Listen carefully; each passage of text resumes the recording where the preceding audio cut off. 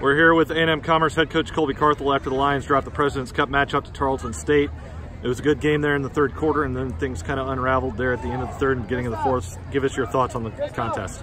Well, you know, we didn't play our best uh, football tonight, and, and you got to give credit uh, to Tarleton State because they had a big uh, hand hand in that. But we had fought our way back in the game, and, and I think it was uh, shoot 24-21, and we got the ball and we're driving, and we just uh, you know put the ball on the turf, and, and they returned all the way down there. Thought defense did a good job holding them, but uh, then we came back with some other miscues and turnovers and a lot of penalties and, and let it get away from us. you don't play well, and you play undisciplined against a good team like Tarleton uh, you're going to get a result like we did tonight.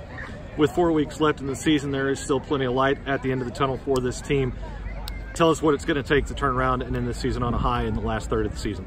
Yeah, we've got to you know play with a lot more discipline. I, I, I thought we played really undisciplined tonight in all three phases of the game, which is uncharacteristic of this team. But uh, we didn't didn't play well, so we got to watch film and and uh, you know self-reflect and find out uh, you know figure out why we played the way we did and, and get that fixed. And got to go out and go 1 0 this week and find a way to beat uh, Western New Mexico. And if we handle our business week in, week out, I think we'll still have a chance to, uh, you know, do something special.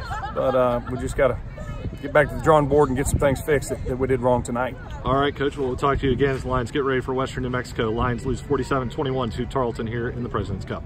Appreciate it. Go Lions.